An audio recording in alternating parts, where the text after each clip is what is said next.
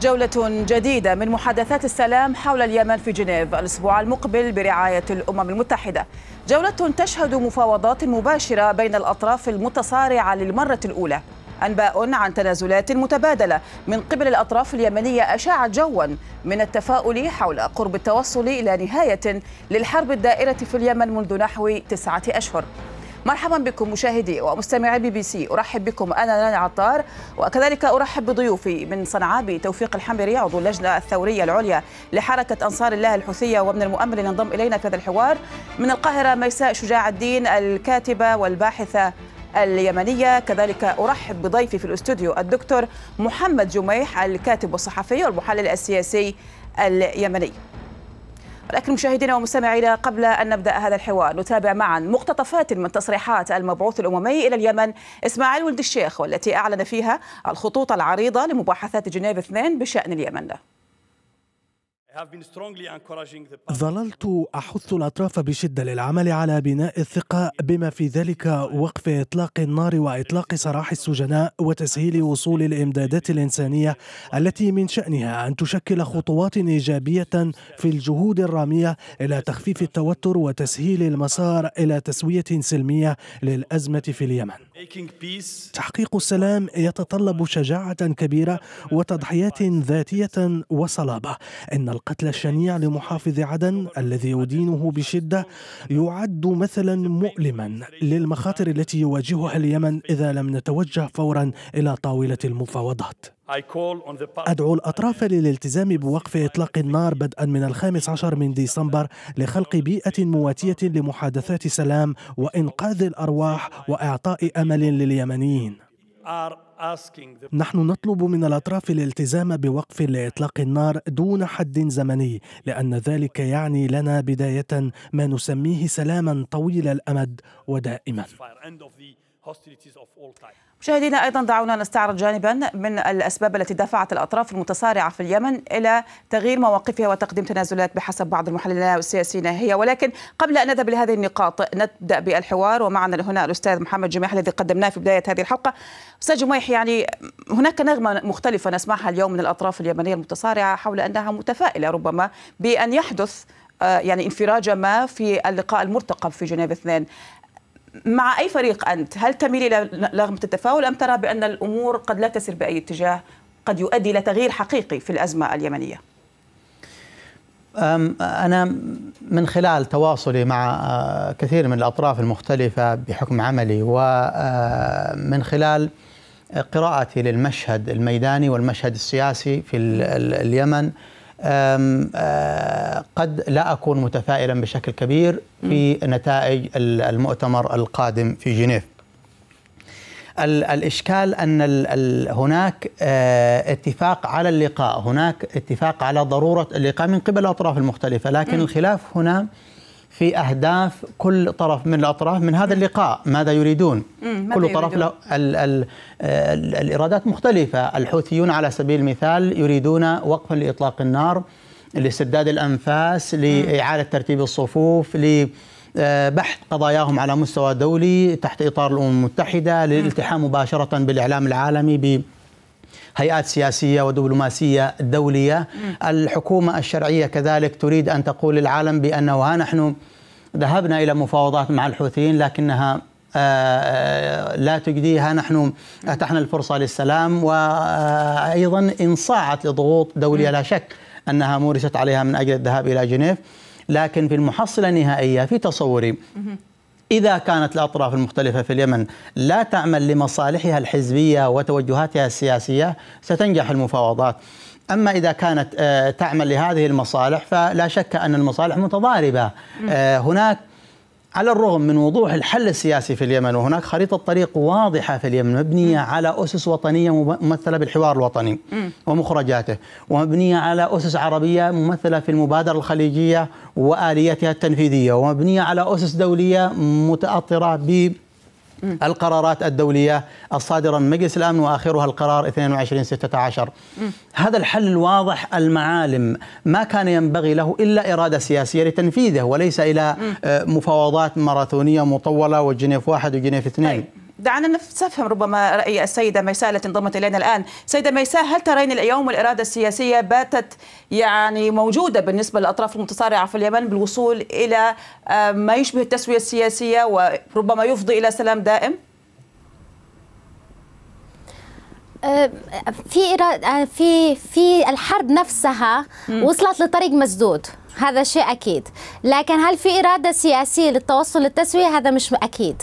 لكن حتى الآن الحرب واضح من عدة شهور من بعد ما الجنوب استرد أخذت قوات التحالف أو انسحب من الحوثيين آه، من بعدها ما حصلش أي تقدم في الجبهة سواء من ناحية التحالف أو من ناحية الحوثيين طيب. فبالتالي في الآن إحنا بنتكلم من شهر سبعة من أواخر شهر سبعة حتى الآن مم. إن إحنا بنتكلم على حرب بلا أفق عسكري بلا استراتيجية عسكرية واضحة.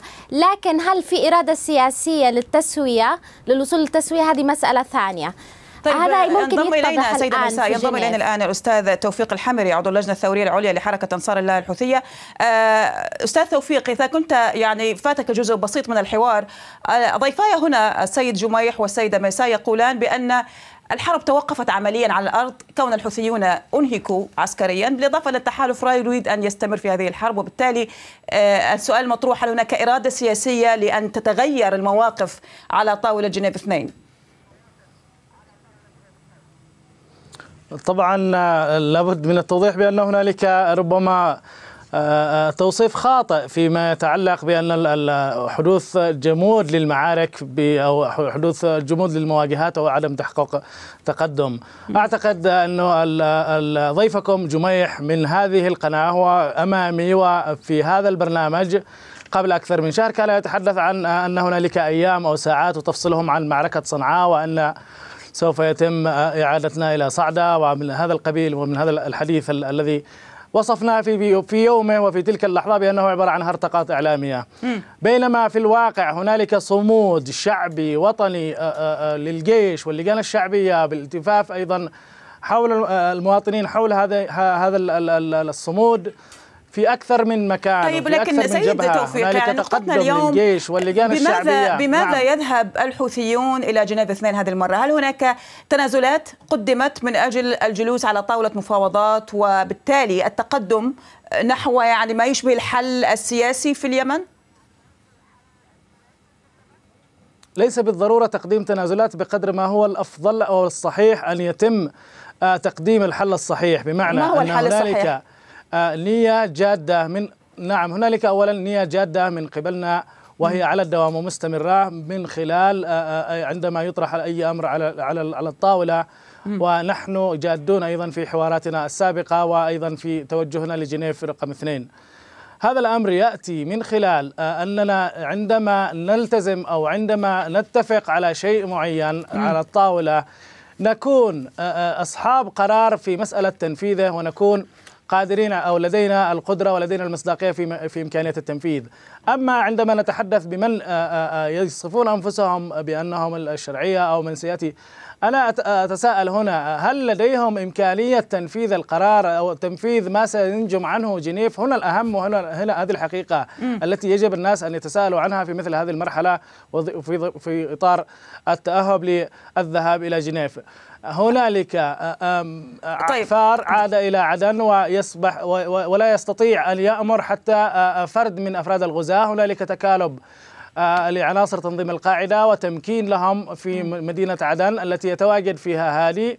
علم القاعدة يرفع في إطار الكيلو متر المربع الذي طيب. يتواجد فيه من هنا من هنا اذهب للسيد جميع آه يعني ربما الإرادة السياسية أو القرار النهائي. سيد توفيق نعم يعني معذرة أنتقل هنا بالحوار إلى ضيفي في الاستوديو. الإرادة السياسية والقرار النهائي إذا ما اتخذ قرار في مفاوضات جنيف اثنين فإن الحوثيون أن الحوثيين قادرين على تنفيذها ولكن بالنسبة للمعسكر الآخر هل الأمر فقط مرتبط بالإرادة السياسية اليمنية؟ بمعنى عبد ربه منصور هادي أم أنه يعود إلى المرجعية السياسية له أو التي تدعمه وهو التحالف؟ وهنا نتحدث عن السعودية. أنا أنا أعتقد أولا أنا لم ألتقي بالأخ توفيق من شهور يعني ولم أقل أن معركة صنعاء على على ساعات لا لم أقل ذلك لكن في إطار السياق. أنا أعتقد أن الجانب الميداني في واد أحيانا والجانب السياسي في واد آخر ال ال التحالف والشرعية لا شك أنهم ينسقون فيما بينهم. حتى في الذهاب إلى جنيف هناك تنسيق ليس من قبل إذاعة الأسرار بأنه إذا ما توصلت القيادة الشرعية إلى قرار معين بناء على توافقات جنيف. فإن سيكون هناك نوع من التنسيق مع قوات التحالف التي لابد أنها أيضا ستكون بشكل أو بآخر حاضرة في آه، جنيف على شكل استشارات دولية وما إلى ذلك. آه، الإشكال هنا أن في تصوري أن الذي عانينا منه خلال سنوات. ليس في الجانب الآخر في تصوري وإن كان في إشكاليات كثيرة. لكن في الجانب الحوثي فيما يخص الالتزام بالاتفاقيات. على سبيل المثال هم يرفضون المبادرة الخليجية من أساسها وهناك تصريحات بأن الحوار الوطني لم يعد ملزما. وعلي عبد الله صالح حليفهم يقول أن أن كل هذه ما بعد آه، الحرب الأخيرة أنها توافقات لم تعد قائمة. بينما القرار الدولي الذي أرسلوا رسالة يؤكدون على التزامهم به هو ينص على المبادرة الخليجية وعلى آليتها التنفيذية وينص أيضا على القرارات الدولية السابقة كما ينص على مخرجات الحوار الوطني. إذا كيف ننفي وننسف مخرجات الحوار الوطني الذي نصت عليه القرارات الدولية في وقت نرحب فيه بالقرارات الدولية كما يقول طيب دعنا نرى يعني التغير الذي حدث ونستعرض هنا جانبا من الأسباب التي دفعت الأطراف المتصارعة في اليمن إلى تغيير مواقفها وتقديم تنازلات بحسب بعض المحللين والسياسيين وهي تقد تعذر السير إلى ما لا نهاية في الخيارات العسكرية بعد تسعة أشهر من حرب لم تؤدي إلى نصر ساحق أو هزيمة كاملة لأي طرف. الخشية دوليا وإقليميا من أن يؤدي الانشغال بالحرب إلى اتساع نطاق سيطرة القاعدة وتنظيم ما يعرف بالدولة الإسلامية على مساحات شاسعة في جنوب اليمن. الكلفة الضخمة للحرب على الصعيد الإنساني إذ بلغت معاناة اليمنيين بسببها مستوى يفوق قدرتهم على التحمل تحمل المزيد منها. جنسية أو خشية المجتمع الدولي من أن يؤدي تؤدي الأوضاع المتفجرة في كل من سوريا والعراق وليبيا إلى اشتعال المنطقة برمتها بحروب وأزمات يستحيل كبح جماحها والسيطرة عليها. من هنا أذهب إلى السيدة ميساء. سيدة ميساء المأزق اليمني أين يكمن؟ هل يكمن اليوم بعدم توحد الفريق السياسي ربما على جبهة هادي ورئيس وزرائه؟ أم يكمن في أن الحوثيون بالفعل ليس لديهم الرغبة الحقيقية أكثر من شراء الوقت في جلوس في مفاوضات في جنيف اثنين لإعطاء نفسهم الأضواء والشهرة ربما وإعادة نفسهم إلى المجتمع الدولي.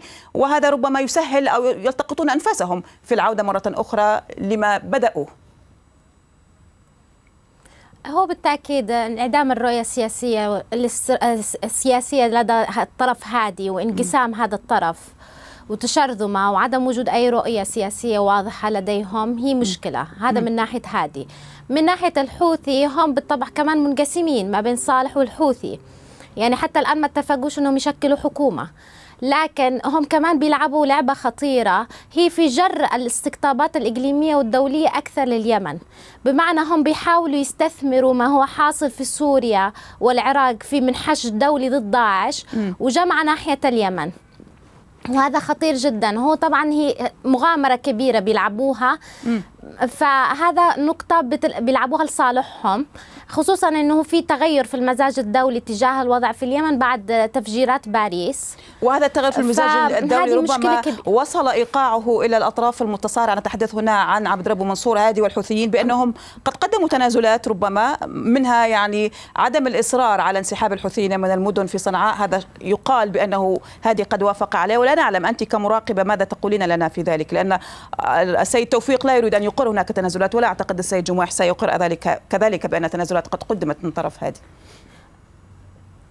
إذا لم تقدم تنازلات من كلا الطرفين تحديدا من الطرف الحوثي لأنه تقرير آه، لأنه قرار الأمم المتحدة 22 16 يطالب الحوثي بأشياء كثيرة جدا. هي بيطالب الحوثي بتنازلات أكثر من الطرف الثاني. م. على رأسها الانسحاب من المدن وتسليم الأسلحة الثقيلة.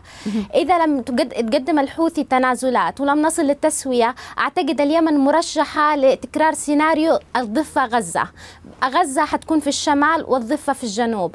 والحوثي عنده استعداد للتعايش في عزلة عن العالم إلى ما لا نهاية. هذا أمر ما يهمش زي توفيق يعني ربما الحوثيون هذا قرار ربما الانفصال أو الانقسام هو قرار قد اتخذوه الحوثيون من زمان. يعني آه، مسألة تطبيقه الآن قد لا يضرهم في شيء. مصلحتهم في عدن لا تهمهم. أكثر من مصلحتهم أن يكون لديهم صنعاء وصعدة والمدن التي لديهم القاعدة الشعبية أو القاعدة السياسية.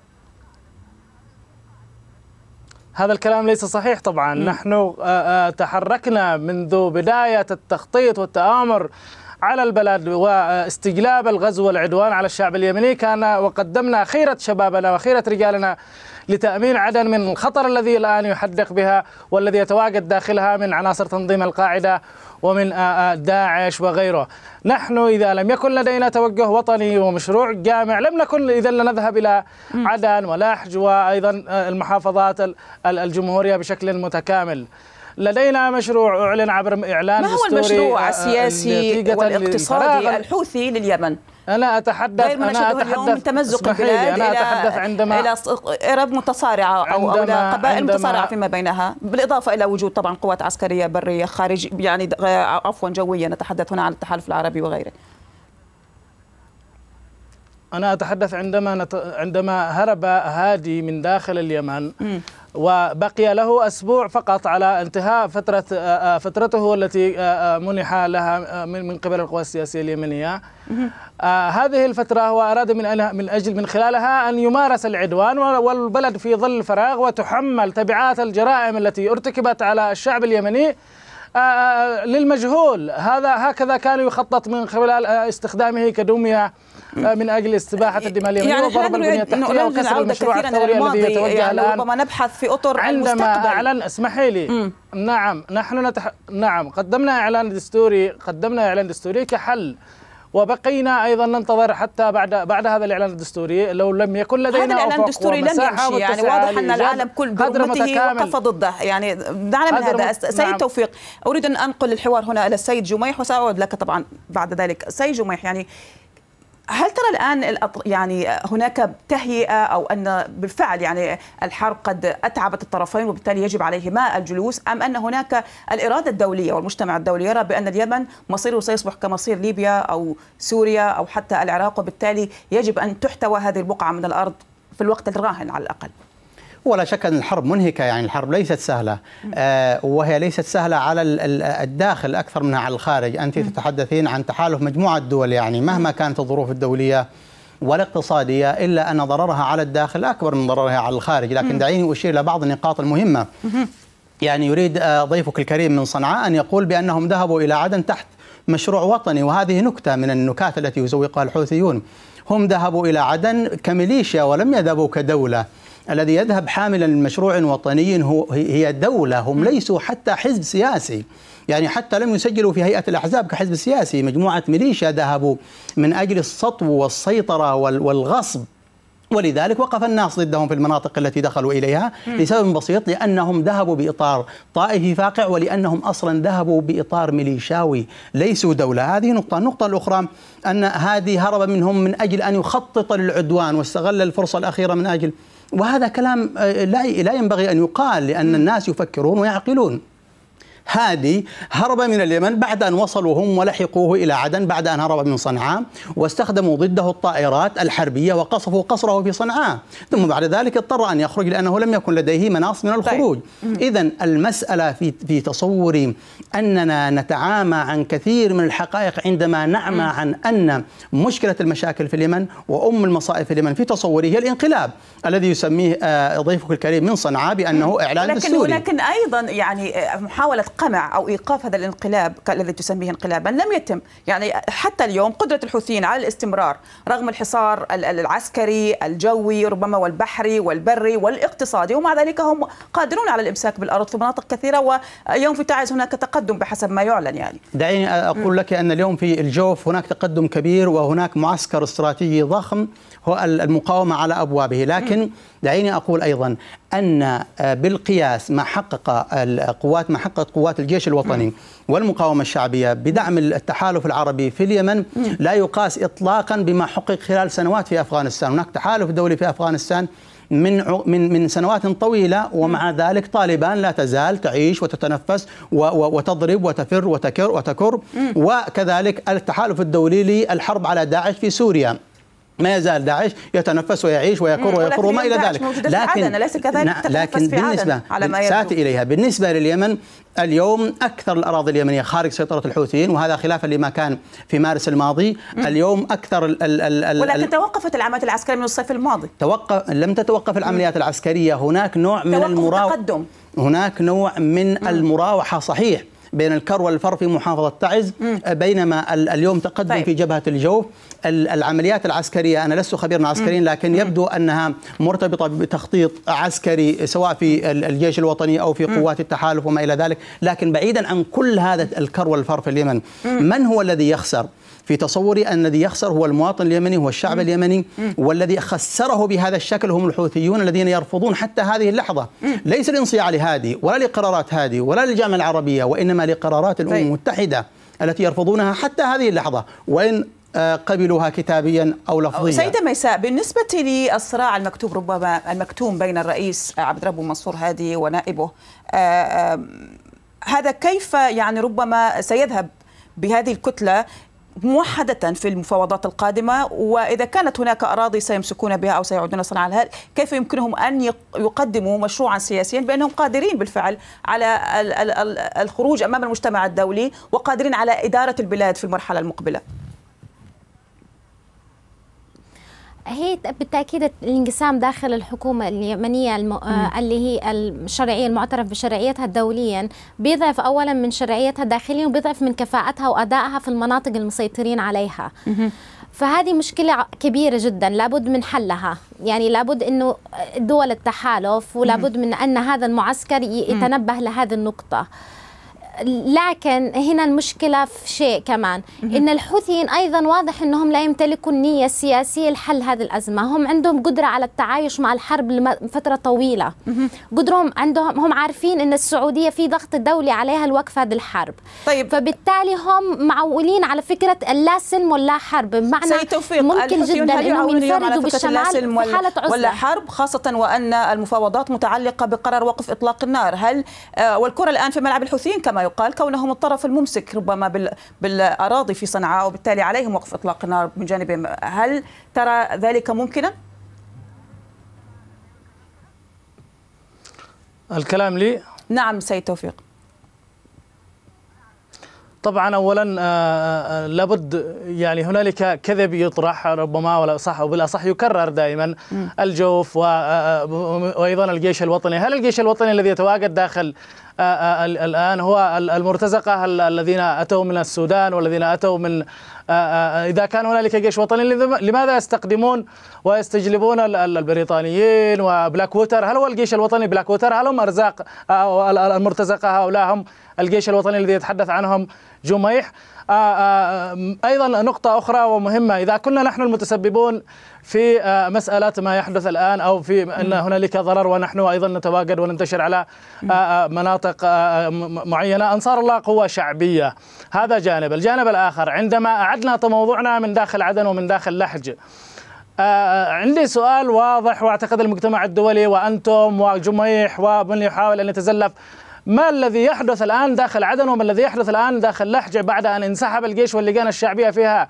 داعش وانفجارات وقتل وأيضا اغتيالات وانفلات رغم تواجد هادي ورغم تواجد المرتزقة ورغم ما هو المشروع الذي سيعول عليه اليمنيين تجاه هؤلاء؟ إذا كنا نحن نستطيع ونحن فقط كما يحاول أن يوصف بأن هذه ثورة شعب وقوة شعبية لا يمكن أن تكسر لا ب... لا لا لا ب... بهذه الهرطقات ولا أيضا بمشروع داعش. نحن شكرا توفيقا واجهنا داعش واجهنا القاعدة. المتلاقيه مع هذه؟ اسمحي لي اسمحي لي. يجب أن توزعي الوقت بشكل واضح.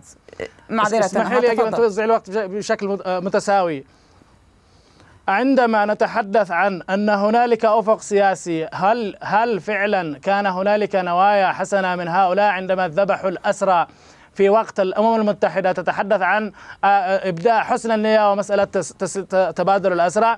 يذبح الأسرى في المديرية التي يتواجد فيها. هادي وفي اليوم الثاني لتواجد المبعوث الأممي من داخل عدن. هذا الأمر يؤكد أن هنالك استخفاف بالوساطه وأن هنالك عدم جدية في من قبل هؤلاء رغم أننا حريصون على كل دم يمني. أيضا لابد أن لا نتغافل بأن هنالك آه، لولا لولا آه، آه، آه، لولا تقدم الجيش واللجان الشعبية داخل جيزان وعسير ونجران والمشاهد التي يسطرها أبطال الجيش واللجان الشعبية نعم إطار يعني أستاذ هذه توفيق يعني لسنا المحافظات منبرا والعمق السعودي. لتهويل اسمحي لي- نتحدث اسمحي لي. بوعي آه، سياسي. شكرا. شكرا لك أستاذ لي، هذا توفيق. هو التنازل الذي أخضع. معذرة يعني ولكننا يجب أن نذهب هادي فاصل. وأخضع مرتزقة آل سعود بأن يبحثون عن تنازلات. معذرة هذه الكلمات نتحفظ عليها ولكن أشكرك أيضا على مشاركتك معنا. مشاهدينا نذهب بكم إلى فاصل قصير نواصل بعده حلقة اليوم من حديث من برنامج حديث الساعة. أراكم بعد الفاصل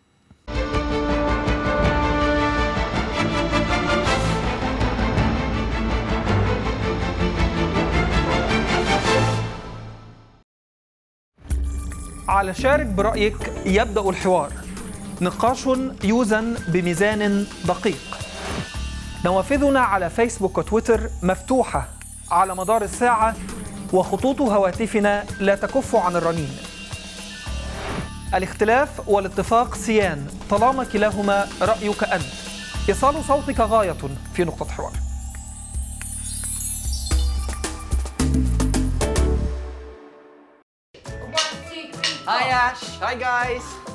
سلسلة جديدة من برنامج تعليم الإنجليزية Hi, I'm Stephen Walker. I'm Ashley Walker, and this is Word on the Street. يقدم فيها الأخوان مغامرات وجولات طريفة نشاهدها بالإنجليزية لنتقنها Afternoon tea. Yes, it's nice, isn't it? You can follow each program on our website.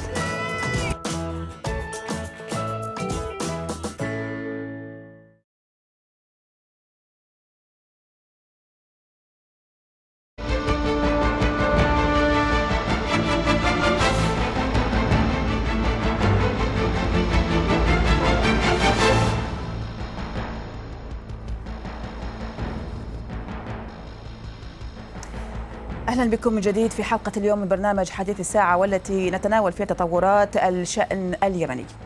ولكن قبل أن نستمر في هذا الحوار نستعرض معا تساؤلات بعض المواطنين اليمنيين إزاء الأمن- الأزمة وتطوراتها.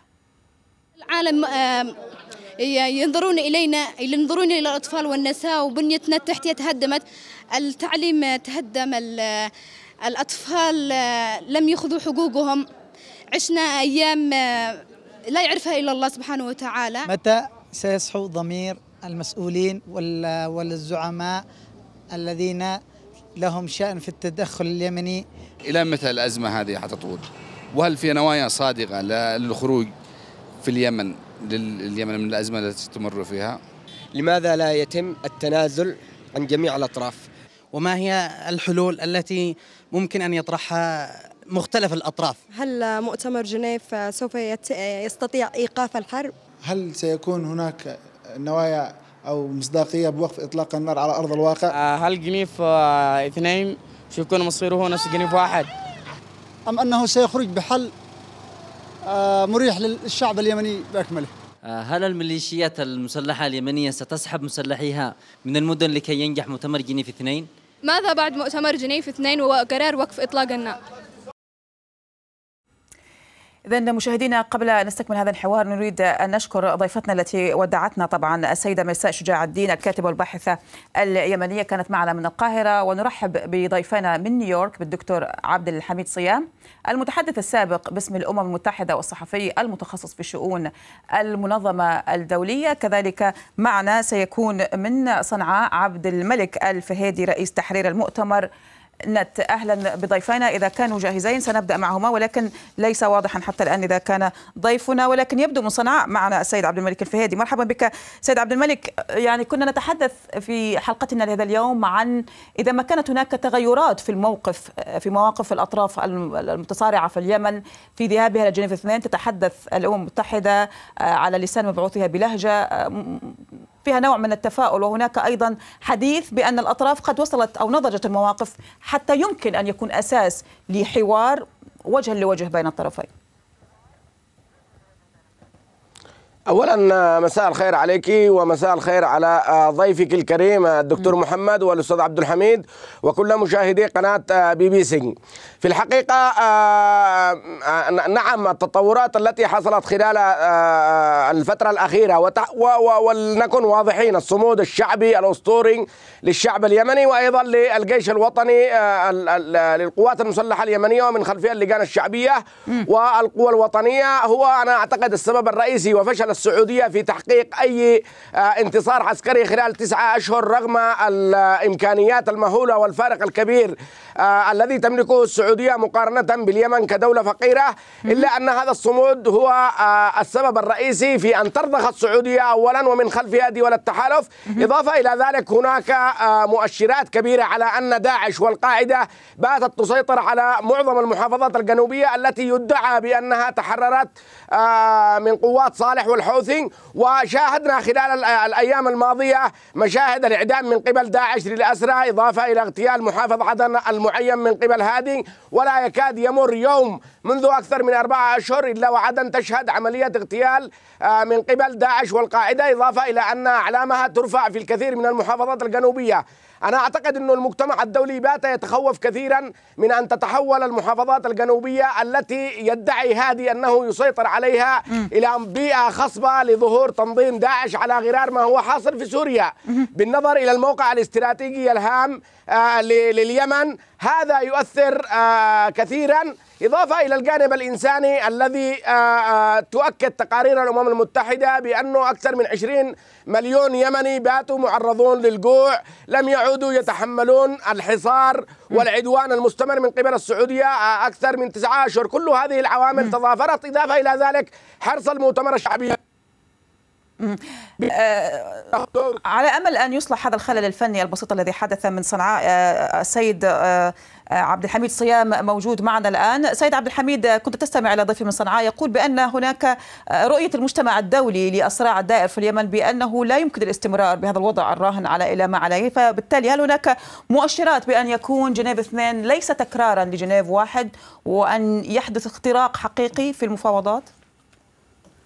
يعني هذا ما نأمله وتصريحات السيد ولد الشيخ أحمد تدل على أنه متفائل حقيقة لأن هناك تطورات. فكما قال الزميل من صنعاء أن الحملة العسكرية السعودية والحلفاء لم يحققوا شيء كذلك الحوثيون أيضا توقفوا. وهذا التمدد الذي بدأ بطريقة سريعة جدا من 21 سبتمبر 2014 وصولا إلى عدن أيضا توقف. فكلا الطرفين لم يستطع أن يحسم يحسم المعركة عسكريا تماما. توصل الطرفان إلى أن الحسم العسكري غير موجود. النقطة الثانية وهو المأساة الإنسانية. نعم 80 في المئة من الشعب اليمني الآن باتوا تحت خط الفقر ومهددون حقيقة بمجاعة شاملة وخاصة أن كان هناك فيضانات ويعني الطبيعة أيضا تساعد في هذه المأساة. النقطة الأخرى أن السيد إسماعيل ولد الشيخ أحمد استعمل الدبلوماسية الهادئة بعيدا عن الإعلام وتوصل الطرفان إلى نقطة أكيدة ستبدأ يوم الخامس عشر وهي وقف إطلاق النار. وهناك رسالة بعثها السيد هادي عبد ربه منصور هادي إلى الأمين العام يؤكد فيه فيها أنه سيبدأ هذه الجولة من المفاوضات بوقف إطلاق النار لمدة أسبوع على أن يحترم الطرف الآخر هذا هذا القرار وأن يتم تمديد وقف إطلاق النار من أسبوع إلى آخر آه لإعطاء الفرصة الكاملة للتوصل إلى مجموعة النقاط المتفق عليها وهي قضية وقف إطلاق النار نعم. وإيصال ولكن المساعدات هل سيكون قرار و... مجلس الأمن 2022 16 يكون نعم. مرجعية هذا التفاوض؟ هذا هو المتفق عليه تماما وهو منصوص عليه في الرسالة التي بعثها الأمين العام للسيد عبد ربه منصور هادي ينص فيها على أن نقطة الانطلاق هي القرار 2216 وهو قضية الانسحاب ووقف إطلاق النار والانسحاب وإيصال المساعدات آه، الإنسانية لكافة المحتاجين في اليمن. هذه نقطة البداية وإلا لا يمكن أن يتم بدء آه، المؤتمر على على أساس المرة الماضية أن نصل إلى جنيف دون جدول أعمال محدد وبالتالي ينفض الاجتماع دون أي نتائج. هناك الآن فعلا تفاؤل بأن يكون هناك وقف إطلاق النار منذ البداية. ينتقل الطرفان للحديث عن موضوع الانسحابات وموضوع إيصال المساعدات الإنسانية إذا كانت هذه المفاوضات بالفعل كما سمعنا ستكون وجها لوجه بين الطرفين المتصارعين نعم. وليس عن طريق يعني نعم. حجاب أو عن طريق الغرف الأخرى؟ نعم نعم. لا هناك يعني كما فهمنا أنها ستكون وجها لوجه. آه تماما هذا ما صرح به السيد إسماعيل ولد الشيخ أحمد. طيب سيد جميح يعني هل الآن بالفعل قد يعني تعبت الأطراف المتصارعة؟ ربما الحوثيون اعتمدوا على النفس الطويل يقولون ربما لديهم الخبرة في الإمساك بالأرض وال- ال- ال- والتعامل مع الصراعات ال- المدى وهذا ما خبروه طبعا منذ زمن صالح وحتى اليوم بينما ربما معسكر هادي يعتمد كثيرا على التحالف العربي والتحالف العربي قد لا يستمر أو قد لا يستطيع الاستمرار في ال- الهجمات الجوية والتي ليس هناك قوة فعلية تستطيع الإمساك بالأرض خاصة في المدن المهمة. نتحدث هناك عن صنعاء وتعز وأيضا صعدة يعني هذا طبعا ربما حلم عسكري صعب المنال حتى الآن. طبعا ال ال يعني ال عندما نسمع لمثل الخطابات الحوثية التي سمعناها الآن آه، يصعب على المرء أن يتفاءل في جنيف. عندما يتكلم المرء منهم عن تقدم عسكري داخل نجران وجيزان وعسير. يعني في في في في سذاجة واضحة. عندما يتحدثون عن هزيمة للسعودية وكأن الحرب حرب السعودية صحيح السعودية هي قائده هذه. ال- الحرب لكن هناك دول وراءها وهناك أيضا آه، شبكة كبيرة من المصالح.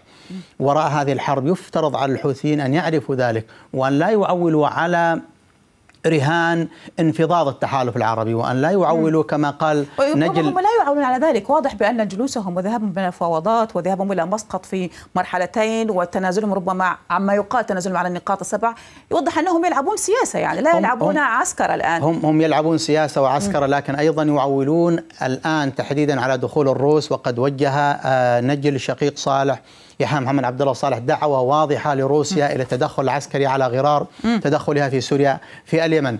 آه، أنا في تصوري أن ال ال الإنكار حقائق أن أكثر آه، أن قرابة ثلثي الأراضي اليمنية خارج سيطرة الحوثيين هذا نوع من العماء. طيب لو رأيت خارطة اليمن. هذا نقطة مهمة. قلت بأنهم يعولون على دخول الروس في المنطقة. عاد معنا السيد عبد الملك الفهيدي. أستاذ عبد الملك الفهيدي هل فعلا ال- ال- الحوثيون اليوم وحليفهم صالح إذا لم يكن حليفا سياسيا فهو على الأقل ك- كما نعلم هو حليف عسكري يعولون على دخول الروس في المنطقة بأن يعطيهم موقعا تفاوضيا أفضل من السابق آه، أنا أستغرب أنه الدكتور محمد قميح آه، آه، ما زال يدندن في نفس الكلام الذي يكرره منذ تسعة أشهر ولم يستوعب الحقائق والمتغيرات الموجودة على الأرض.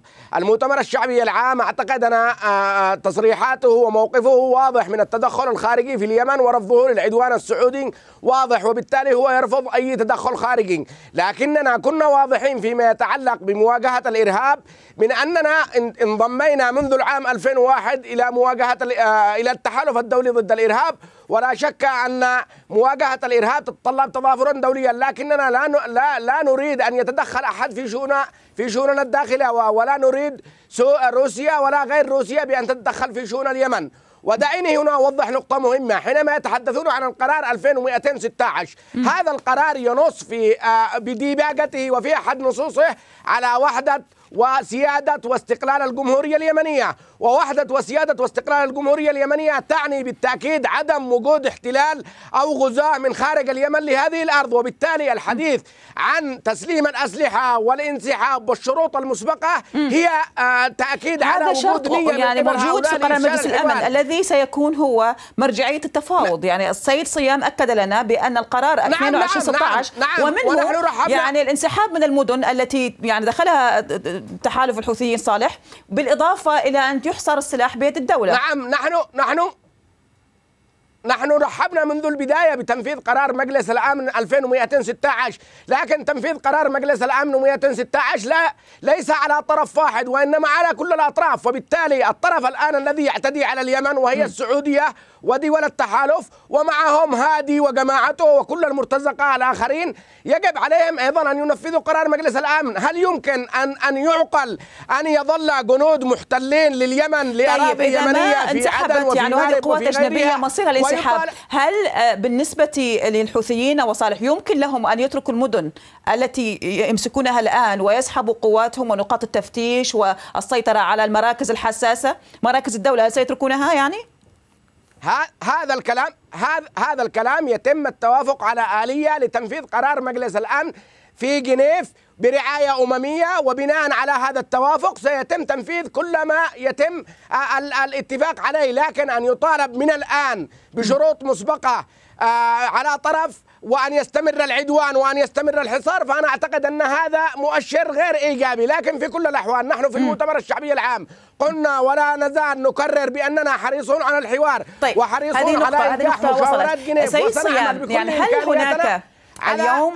إنجاح مشاورات جنيف. بما أنه يعني هذا الصراع في مكمونه ربما هو داخلي ولكن أيضا هناك يعني معاونات مساعدات مرجعيات سياسية خارجية، هل هناك إرادة أو رغبة إذا ما شئت إيرانية سعوديه بالتوصل إلى توافق اليوم بين الأطراف اليمنية من الحوثيين من جهة وبين عبد ربه منصور هادي ومن يساعدونه أيضا؟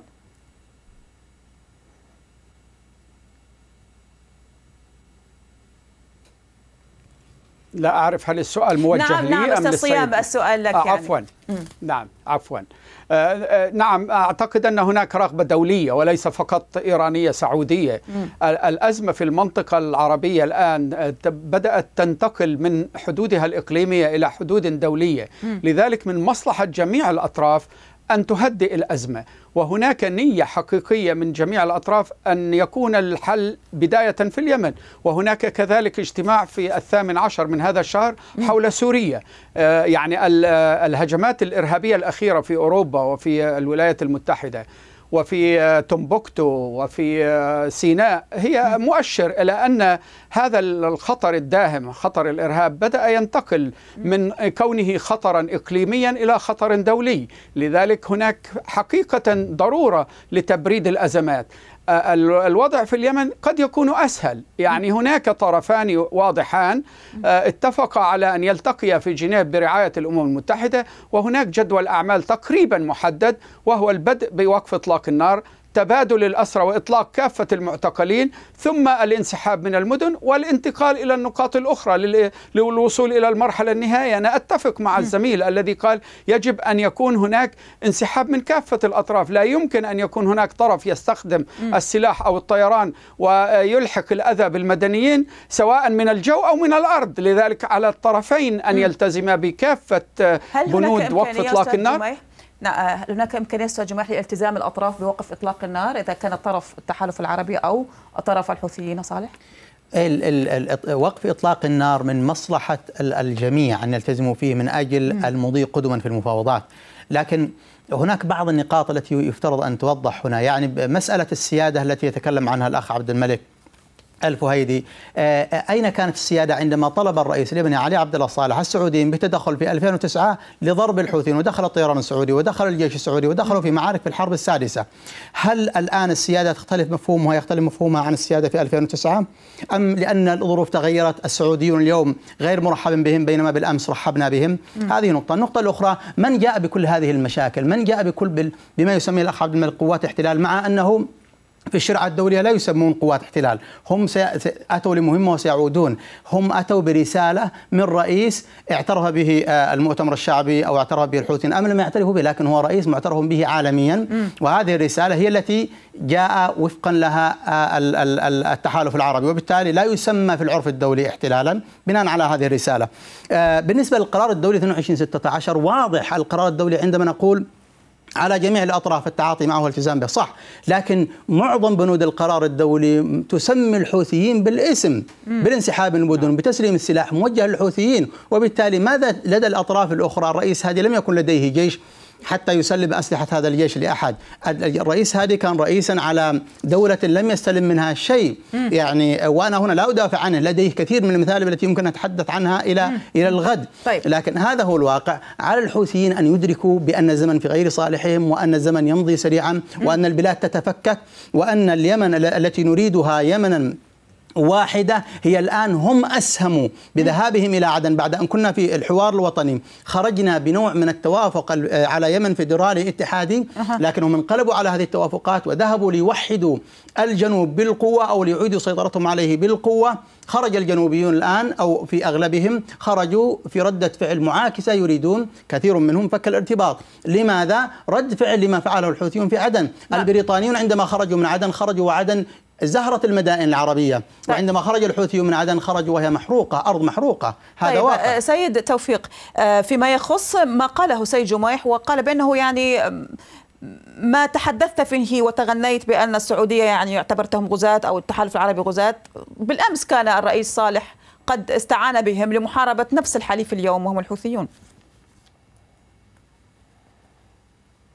اولا أنا أستغرب من أنه الدكتور محمد قميح لا يزال يسمي عبد رب منصور هادي بأنه رئيس شرعي رغم أنه يعرف. تماما بأن. آه، هادي آه، ب- بأن بأن هذه انتهت شرعيته في 21 فبراير 2014 وأنه كان أحد أعضاء مؤتمر الحوار الذين مددوا له تمديد فقط لمدة سنة وانتهت هذه السنة وبالتالي عبد رب منصور هادي لم لم يعد يمتلك أي شرعية. إضافة إلى ذلك أنه رغم العدوان السعودي ودول التحالف أكثر من عشر دول لم تستطع أن تعيد هادي رئيسا شرعيا فهو لا يزال يحرس بجنود من الإمارات وليس حتى بجنود يمنيين. وبالتالي الحديث عن شرعية هادي هذا أمر مضحك آه، وكثير. ثالث آه، للسخرية. أما بالنسبة للقرارات الدولية والحديث عن السيادة فنحن نتكلم عن سيادة الجمهورية اليمنية وفقا لقرارات مجلس الأمن ووفقا لميثاق الأمم المتحدة الذي يؤكد على أنه لا يحق لأي دولة أن تعتدي على سيادة دولة أخرى. هل ستسمح بريطانيا أو فرنسا بأن تعتدي عليها دولة أخرى؟ ألن يسمى ذلك غزوا واحتلالا؟ آه، إذا لم 2009 يكن كذلك فهذا أمر آخر. طيب لكن سيد توفيق لكن يعني محمد قميح يحاول أن يغالط.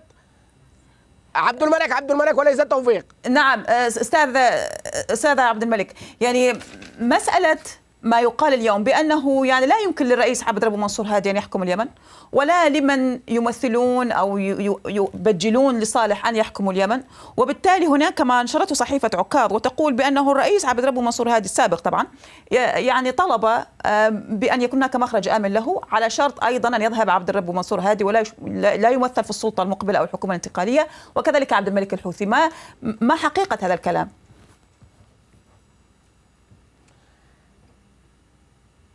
موضوع عن أن هادي لن يحكم اليمن هذا أمر مفروغ منه. لا أعتقد أن أحدا سيقبل به بعد تسعة أشهر من العدوان والقصف والدمار الذي. حل باليمنيين. كل الدي كل كل صالح لم يعد يريد السلطة. صالح ذهب هل يبحث اليوم عن مخرج 2011 امن خارج اليمن؟ والجيش. ويشترط ذهاب عبد الملك لا لا الحوثي لا أيضا لا و... لا, لا. عل- كلام كلام كلام كلام كلام هذا كلام غير صحيح. علي عبد الله صالح اولا علي عبد الله صالح لا يريد العودة إلى السلطة وهذا أمر مفروغ منه يعني لا يريد العودة مرارا بواجهه وتكرارا. ولكنه ثانياً، علي عمليا يعني يمسك هو يمكن- العسكرية اليس كذلك؟ لا لا لا, لا هذا كلام غير صحيح. علي عبد الله صالح ترك السلطة في 2011 ولم يعد يريدها. أما بالنسبة للمؤتمر الشعبي العام وهو رئيسه فهذا أمر م- آخر. أن أن يشارك المؤتمر الشعبي العام كحزب سياسي في السلطة هذا أمر آخر. أما خروج علي عبد الله صالح من اليمن فهذا أمر من الأحلام التي يضعها خصومه السياسيون. علي عبد الله صالح مواطن يمني سيظل يعيش في اليمن وهو قالها بالحرف الواحد. سأعيش في اليمن وأموت في اليمن وأدفن في اليمن وبالتالي لا تستطيع اي طيب، قوه في العالم. لا مجلس الامن. ولا الأمم المتحدة ولا العدوان يعني السعودي. أن يخرج علي عبد صالح من اليمن. شكرا. مؤقتا طبعا. آه، سيد صيام يعني ب- بما يخص الآن رؤية الأمم المتحدة إلى هذا الوضع يعني هي تبحث طبعا عن بداية تجلس فيها الأطراف المتفاوضة والمتحاورة ثم تذهب إلى حكومة انتقالية على ما يبدو وقف نعم. إطلاق النار ذا صمد وما ذلك. الحكومة الانتقالية من وجهة نظرها هل هي بالفعل إعادة الشرعية إلى الرئيس عبد الرب منصور هادي أم أنها ستأتي بحكومة جديدة قد لا تكون هناك نوع من الانتقامات أو الأحقاد وتكون مغيرة للضغائن وتبرد مما جرى في اليمن فعليا؟ يعني الأمم المتحدة لن تفرض شيئا على اليمنيين م. الحوار سيكون يمنيا يمنيا وما توافق عليه اليمنيون بالإجماع وبمساعدة الدول الأخرى والدول الإقليمية والأمم المتحدة. تذليل العقبات أثناء الحوار إلى أن يتفق اليمنيون بين أنفسهم. اتفاقا شاملا على المرحلة الانتقالية وكيفية إدارتها. فهذا شأن يمني لن تفرض الأمم المتحدة ولا تستطيع أصلا أن تفرض الأمم المتحدة على اليمنيين أي شيء الأمم المتحدة دورها أن تراقب وقف إطلاق النار وأن توصل المساعدات الإنسانية وتخلق الجو الإيجابي للأطراف اليمنية لأن يتحاوروا كثيرا طويلا أو قليلا إلى أن يتوصلوا إلى المرحلة الانتقالية التي يرضى بها الشعب اليمني، المهم أن يضع اليمنيون مصلحة الشعب اليمني المسكين المعذب المقهور والذي عانى الكثير من تحت حكم النظام الشمولي منذ أكثر من 33 سنة، يريد أن يخرج من هذا المأزق القاتل، يريد أن يعيش حرا سيدا في بلده، وهذا دور الأمم المتحدة أن تساعد للوصول إلى تلك المرحلة. طيب سيد جميح يعني هناك من يقول بأن كل الاطراف المتصارعة في اليمن تريد العودة إلى الماضي بينما الكل أو اليمنيون يبحثون عن أن شخص يبحث عن المستقبل. بالرأي بالنسبة للوقائع الآن يعني هل تعب بالفعل الطرفان من الحرب؟ وبالتالي تعالوا نجلس يا جماعة ونحل المشكلة خوية بيننا. وانتهى الموضوع. أم أن اليمن سينتهي مستقبله إلى أن يكون مقسما ولكن ربما على الخريطة لا يقسم ولكن فعليا قد تقسم. وهذا ما نخشاه الذي نخشى أن أن يصار إلى أن تمل الأمم المتحدة لأنها هناك ميزانية ضخمة للمبعوث الدولي وفريقه الفني الكبير م. ترصد أموال كبيرة من الأمم المتحدة من أجل إنجاز المهمة في اليمن يخشى أنه إذا ما انتهت مفاوضات جنيف إلى الفشل فإنه ربما لا يعين مبعوث جديد لليمن وبالتالي يدخل اليمنيون في مرحلة من التاريخ المنسي آه كمرحلة حروب أفغانستان وما إلى ذلك من الحروب التي لن تكون مهمة بالنسبة للعالم وسوف يظل اليمنيون يتقاتلون إلى ما لا نهاية ولا يلتفت إليهم أحد بفعل انشغال العالم بالعراق وانشغال العالم بسوريا وما إلى ذلك من الدول الأخرى. ولذلك على جميع الأطراف في تصوري أن يكفوا عن الطموحات البعيدة وأن يتنازلوا قليلا من أجل الوصول إلى حل. وهل ترى هذا ممكن الآن؟ هل هم هذا أنا, فعلا؟ أنا, أنا هذا ما آمله وليس ما أعتقده. أنا أعتقد بأنه في جنيف سيكون هناك نوع من التباحث الجاد لكن النوايا السياسية غير موجودة، الإرادة السياسية غير موجودة. إذا كانت القرارات الدولية واضحة ازاء تسمي ال ال ال الانقلاب بعينه وتنص على شرعية الرئيس هادي والأطراف الأخرى في الداخل يقولون أنه ليس رئيسا شرعيا ولا هم ما يقولونه في ذلك. لكن نحن أمام مجتمع دولي ينص على أن هذا الرئيس مهما كان فيه ما فيه إلا أنه رئيس شرعي باعتراف الأمم المتحدة. وبالتالي لا يمكن أبدا شكرا. أن يصار إلى حل سياسي ما لم نعترف بالحقائق على الأرض. في الختام مشاهدينا لا يسعنا ألا أن نشكر ضيوفنا الذين أثروا هذا الحوار من حلقة اليوم برنامج حديث الساعة. لكم تحيات فريق البرنامج وتحياتي وأراكم في حديث ساعة آخر.